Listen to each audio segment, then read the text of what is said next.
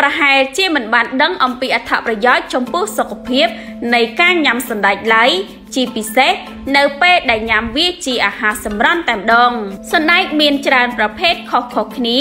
ដែលមានលក់នៅលើទីផ្សារហើយប្រភេទនីមួយៗសុទ្ធតែមានប្រយោជន៍ដ៏អស្ចារ្យរបស់វារៀងៗខ្លួនប្រសិនបើជាអ្នកកំពុងតែមានការចម្ងល់ថា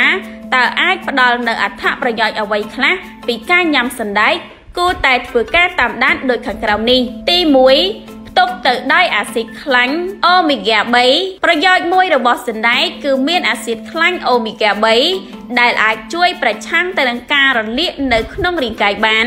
យើងទាំងអស់គ្នាសុទ្ធតែបានដឹងអំពីការដែលញ៉ាំនៅអាស៊ីតខ្លាញ់សំខាន់សំខាន់អាចប្រឆាំងទៅនឹងការរលាករ៉ាំរ៉ៃ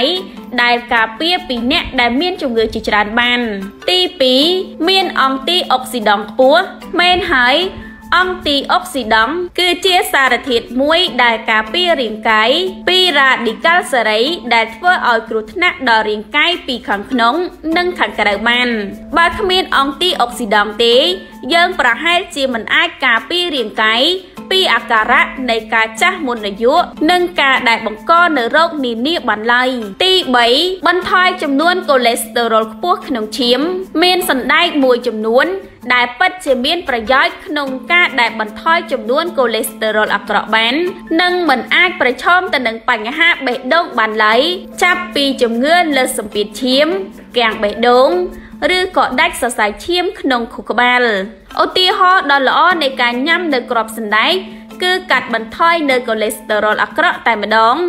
វាមិនត្រឹមតែបន្ថយនៅកូលេស្តេរ៉ុលទេ តែក៏ពង្រឹងដល់សមត្ថភាពប្រឆាំងទៅនឹងរ៉ាឌីកាល់សេរីដែលកំពុងតែបំផ្លាញរាងកាយអ្នកដែរទី4មានប្រូតេអ៊ីន ការដែលញ៉ាំសណ្ដែកជាពិសេសជាប្រភេទ walnut គឺល្អចំពោះសុខភាព ក្បាលពោះដោយសារតែប្រូតេអ៊ីនរបស់វាតែម្ដង ប្រូតេអ៊ីនអាចជួយឲ្យអ្នកញ៉ាំឆាប់ឆ្អែតប្រូតេអ៊ីនក៏ត្រូវការដែរនៅពេលដែលមានការជួសជុលសាច់ដុំដូច្នេះគួរតែញ៉ាំវាជាអាហារសម្រន់ឲ្យបានគ្រប់គ្រាន់ទី5មានជាតិសរសៃ អត្ថប្រយោជន៍មួយផ្សេងទៀតដែលអ្នកអាចទទួលទានពីការញ៉ាំទៅនឹងសណ្ដែកនោះគឺថាវាសម្បូរទៅដោយជាតិសរសៃដែលល្អចំពោះការដែលរំលាយអាហារដែរជាតិសរសៃ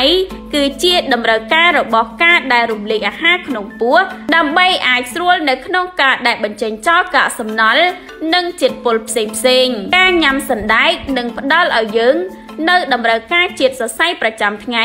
ហើយក៏ឆ្អែតបានយូរដែរ